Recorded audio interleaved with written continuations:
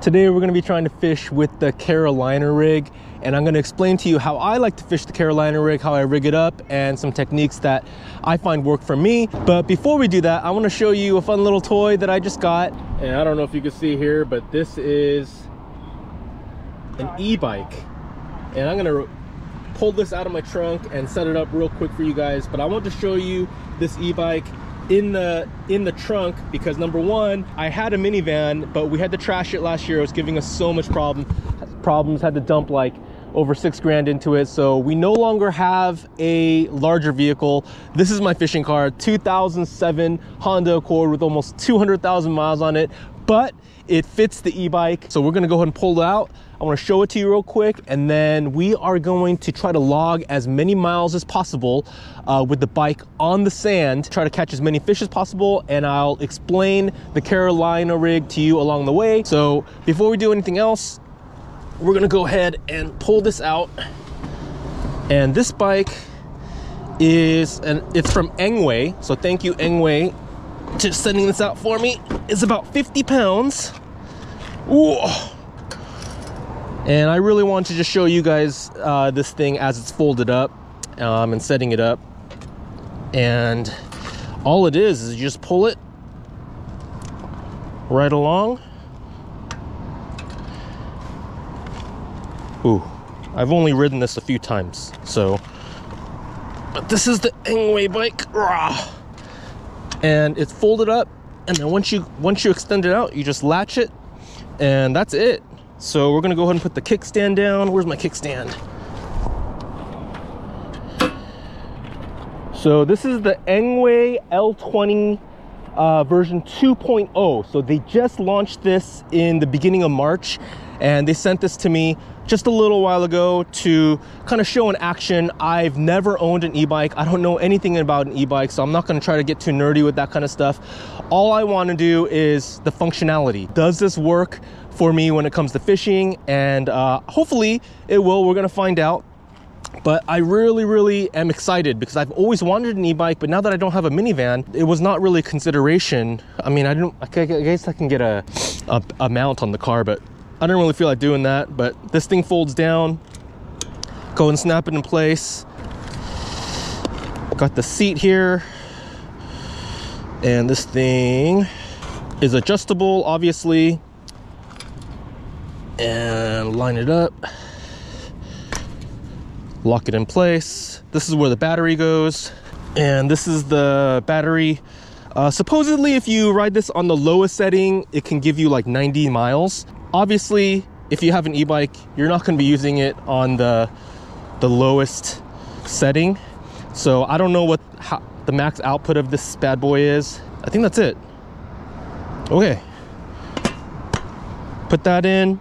Um, but yeah, so this is actually kind of, I feel like, I don't know if this is really made is optimal for the beach? Probably not but the good thing about it is it's smaller and a smaller profile so it works for me because uh, anything bigger there's no way i would be able to get it in here. So with this vehicle you just need to put the key in that locked it into place and then i think we just move it over once that locks the key in and then we can start the bike. But now that we have the key in place right here there's a power button. Uh is it this one yeah. So we power it on. As you can see uh, I've been test riding it. I've logged 12.2 miles on this thing just riding it around the city before I felt safe bringing it onto the beach. I'm starting at 12.2 miles today. Let's see how much I log. That's a little nice loud bell actually and front and rear brakes. And supposedly this thing can go about 28 miles an hour at the top speed. I am so excited. So flip these pedals up and we are literally ready to ride guys in other news i actually forgot my backpack which has my other camera so thankfully um, i got this brand new insta360 that i don't know how to use we're going to be filming this portion with that was lucky enough to prepare some of my carolina rig stuff and uh, we're gonna go ahead and get on the sand. I'm gonna show you guys how this works. Skinnier tires, they're three inch tires. Bigger fat tires will be four inches. So this isn't exactly like your you know, riding in the sand optimized vehicle, but Um, I think there's plenty of hard, hard pack. I just checked it out before filming. And so I think we'll be able to ride up and down the coast. That's the goal anyways. All right, before we take off, let me show you guys what I got. Because I don't have a backpack, I'm glad I packed super light. I have everything I need in this tiny little box here. We're starting off with a three quarter ounce on the Carolina rig. I'll talk to you guys that in a second, but I got the barrel swivels, uh, orange beads, some hooks, and weights. Big Laut baits. This is an unreleased unreleased but i'm actually really really really really really excited about these. I'll show you guys those. And then these are honey badger baits. And i think if you have been done any carolina rig fishing in uh, southern california you probably know about these. So i'm gonna use all three of those. Thank you to glenn and josh for allowing me to fish your baits. And then six pound Opsin fluorocarbon leader and i'm just gonna stick these in my pocket and then we're gonna roll i don't know how many uh, miles I'm gonna be able to log holding uh, Insta 360 brand new, first time using it, and a rod in my hand. So I kind of screwed things up today, but I think it'll also showcase uh, how possible it is to fish on the sand with an e-bike. And don't be jealous of my Crocs, guys. You guys know it's so cool. Thought it would be the easiest way to get around today. You can hate on my Crocs all you want. You know you love them. They're so ugly. All right, we're gonna walk this over the berm here and I wasn't planning on riding this part. Uh, there's a part right over here that I was hoping we're at a sucking out low tide. Okay, we're gonna see if we can ride on this. We might not be able to. It might be too soft. I don't know. Put this on level two. And there's a nice structure right here already. There's a gentleman already fishing here. I would fish it. Oh, does it work? Oh, it works, kind of. Kind of, kind of. Oh, we're rolling. Hey, not bad. Okay. So we're gonna try to, oh, it's pretty slippery, guys. Oh man. I have it on pedal assist. Oh yeah, I'm gonna eat it, dude. Oh shoot, it's too soft. If we could find some firmer sand, we could probably fix that. Um, you know what, I'm gonna go ahead and just ride on the sidewalk for now. Okay, so I wanna work north and try to find some structure up that way. And we're just going real slow at a less than 10 miles an hour, but you can bump it up to three and we jump up and we're going 15. Level four will take us up to 20. And if you want to go that full 28, you can clock it, can make that happen. But we're gonna be talking about the uh, Carolina rig today like I said, I'm using the Rockaway. It, the SP stands for Surf Perch. They specifically made the Rockaway SP for the Southern California fishery for our local small little critters. I got that on 15 pound braid, six pound Opsin fluorocarbon. And I'm starting off with a three quarter ounce egg sinker. Now this rod is rated only to 5 eighths ounce, but I feel pretty confident with this rod that you can go past the max line lure rating on this. And so just I always start a little bit heavier uh, to make sure that I can have control. I brought some lighter sinkers too if needed. And we're sucking out today to not quite to zero, I think like a 1.5 or something, and that's gonna bottom out in about an hour. You know, these beaches typically for me seem to fish best at a higher tide, but that might not always be the case. And I realize that I'm riding my bike the wrong way right now.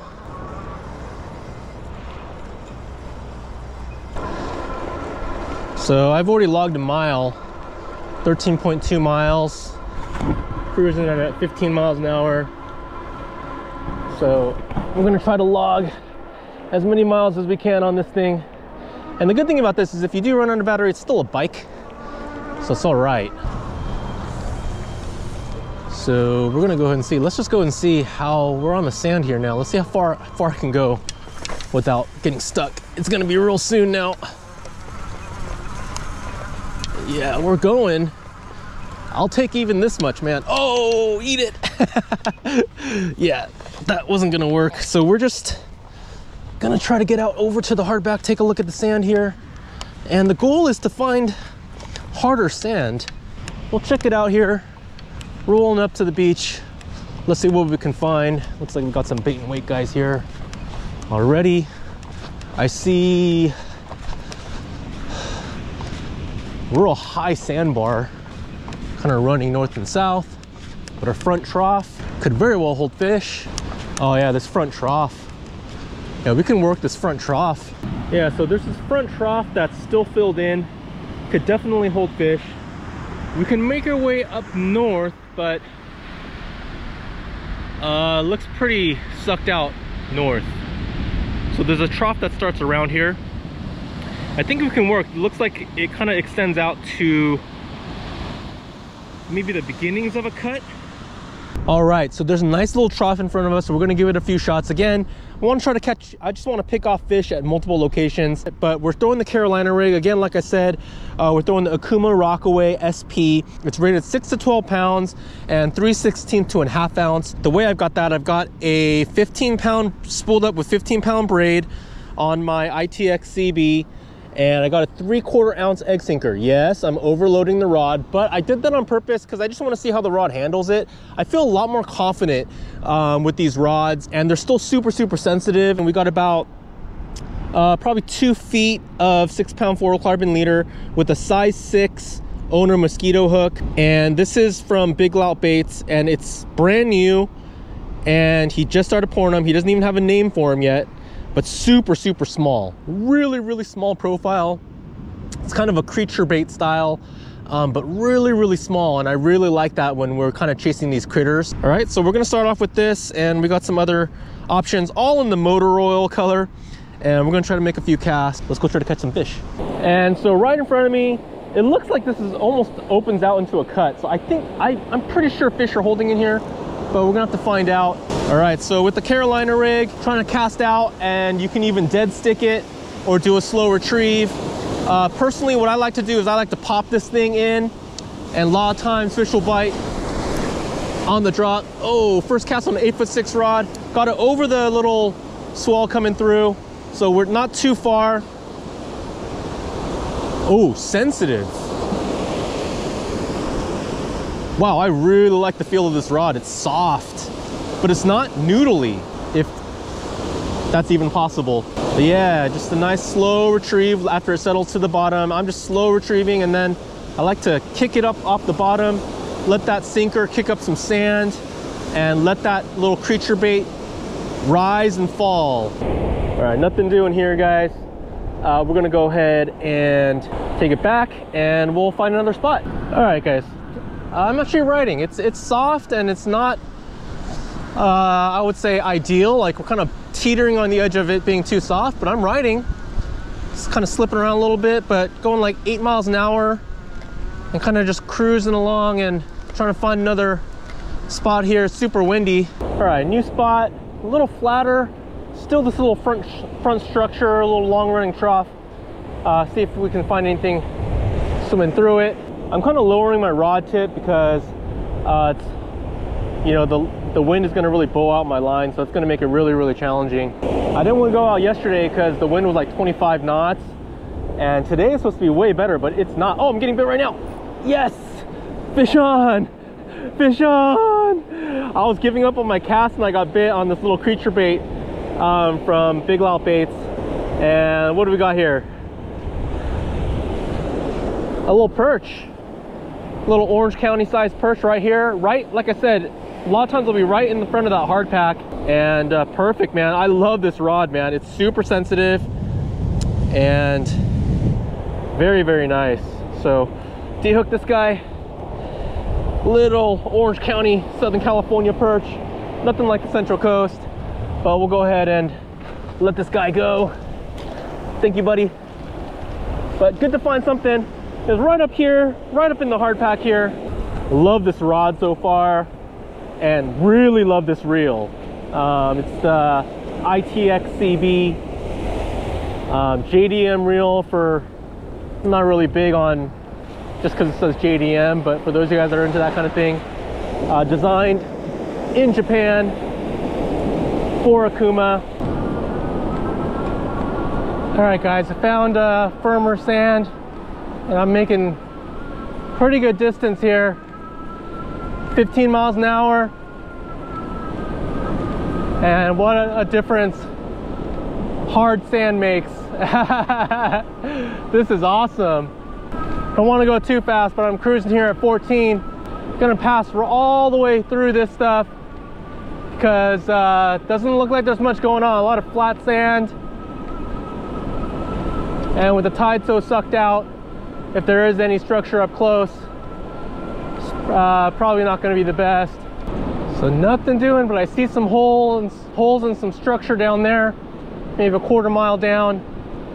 Just gonna ride it straight down. And that's, I think that's where I parked, because I did see that structure when I parked. So real, real hard packed sand.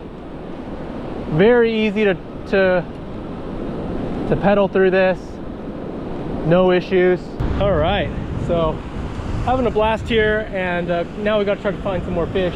Probably went maybe half mile to a mile, maybe a mile. Um, I'm at a completely different beach now. It was totally flat, and then a new trough formed. Yeah, if you look all the way down there, it's completely flat, but it kind of, this is the start of a trough. So, gonna just cast and see if anything's swimming in here. But yeah, see right where those water, that, that wave crashed, that's the lip. So a lot of times these little surf perch and other critters will be right at the edge of that lip. And uh, that's typically where, you know, a lot of the long time uh, SoCal lightline fishermen will fish is that little lip. And, you know, a lot of times there'll be real small fish. Other times there'll be some big ones swimming through there. We're at four bars. We dropped the bar.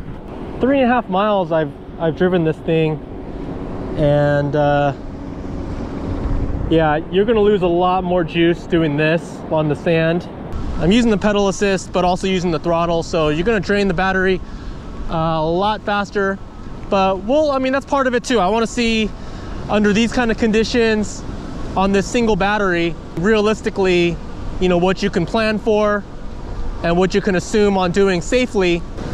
A little drop off here. I think, I think this transition is good. It's super flat right there and it drops off right over here. So we'll give this a shot. Real quick though, real quick.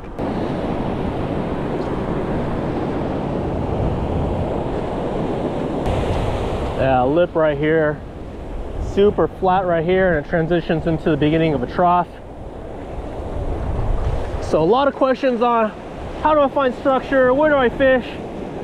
You guys see what I'm doing and you just make guesses, man. And just because you find a good piece of structure doesn't mean it's gonna be loaded, but it could be. And the only way you find out is by fishing it. And if you fish it and it doesn't work out after several casts, you know, I wouldn't spend too much time, especially on the Carolina rig. You know, stuff like big laut baits and honey badger baits, those are proven little soft plastics, little grubs. You know you know it's gonna get eaten. So um, just trust that if fish are around, you're gonna get bit. All the stuff that looks like the possibility of fish holding, and if fish is holding, then you were right. And if fish are not holding, doesn't mean you were wrong, just means that fish weren't holding there at that particular time. All right, so this is why I was saying low tide might not be best for this stretch of sand. This is a perfect example. If you look at this right here, see this lip? See right here? This is the little ledge. And when the water's higher, like maybe at a two, three, or four foot, you can fish this. You wouldn't be able to see it, but uh, water would be running way past here. It'd be high enough where fish would be piled in here. Right now I'm looking out there because that's where I would probably want to fish, but I can't reach it because it's not low enough. But right here is where you catch a bunch of surf perch uh, when the water's a little higher. And it's also where you could probably sight fish corbina. Corbina would come in, you could see their backs out of the water, but this entire area is gonna be like a trough when the water's higher. Perfect place to fish, just not right now. So um, just shows you how important timing is, but still really good to see. It's all about the structure. You see the little lip right here, right there, and the water's passing over it. Yeah, this is what you want to see. So, you know, if you're low tide scouting, you, you kind of mark this area and come back when maybe it's a little bit of a higher tide, mid to high tide, and could maybe have a good session. So I thought I could make a cast, but it's not really good. I'm not going to get bit here. Holy cow. One, two, three, four, five, six, seven. Seven rods. My goodness. This must be the fish zone.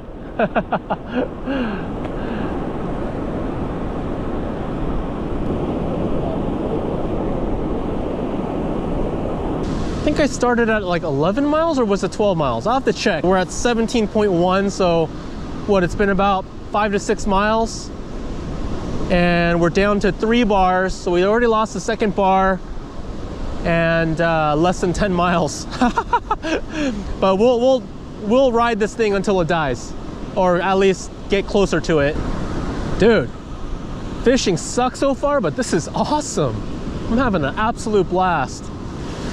This is pretty cool, man. I mean, this has been good stretch where the sand is just hard and no problem pedaling. So I was in an area where the sand was way too soft and I was a little worried like, yeah, man, these this bike is way too light and the tires are too small, man, but this works.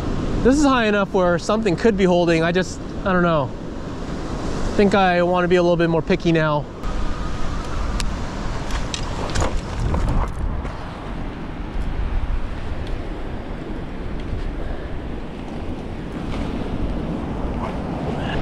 All right, so I took a little stumble. The sand got real soft. Took a little stumble and I had to drop the rod into the sand. And uh, look at my reel. And I'm not bummed. I want this to happen. You know, my job is to test this gear and see if I can fully recommend it. I got sand all over the place. Uh, I, am gonna head up over to the sidewalk now, stop at the nearest restroom and uh, we'll wash this off at a, over a shower and uh, hopefully it'll be okay. So I really want to know how this reel holds up to stuff like this. Um, obviously hasn't dipped in salt water yet, but stuff like this is part of surf fishing, man. Uh, if you surf fish hard, stuff happens. All right, so I'm at the shower now. And like I said, I dunked this thing in the sand. So I'm gonna do is just rinse with fresh water. Just rinse it off. That's it. not gonna do much else than that. And we'll see, you know, time will tell but I'll let you guys know if I see any grittiness or anything like that. All right, guys, I'm having uh, issues with my GoPro, so I don't know what's filming and what's not filming. We're gonna try to keep fishing until we can get some more fish. We're gonna have a thousand last casts. well, fishing was uh, definitely a bummer today, but we're gonna go ahead and wind this up. I'm down to one bar on my battery, so uh, definitely uh, a little disappointed with the battery life on this thing creeping on i think i've gone a solid nine miles and a lot of it on soft sand or rideable sand. So i think i can go probably a couple more miles easy. I'm at least a mile away from my car maybe two miles away from my car. So um, hopefully we'll get there. I think we will. Um, got to hit some good structure but again uh, timing is everything.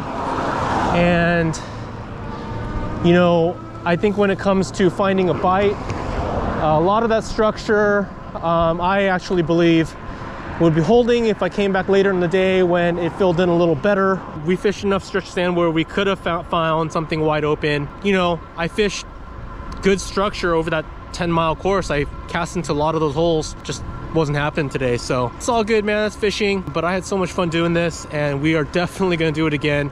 Definite benefit of this bike is the portability and really how easy it is just to fold it up and stick it in the trunk and take it out. So we'll definitely give it another go here. Come back when, you know, the fishing is a little better. Every day is different, you know, from what I see of the guys that fish down here on a daily, literally one day they'll catch, you know, 15, 20 fish and the next day they either skunk or catch one or two. So seems like today was one of those one or two days. I got my one, uh, very grateful for that one. And uh, we'll definitely do it again and we'll definitely take this bike out again for sure. This is super awesome. So thank you to Engwe and I uh, hope you guys enjoyed this video. It's a little different. You know, hopefully next time there'll be more fish. So until next one, guys, tie lines.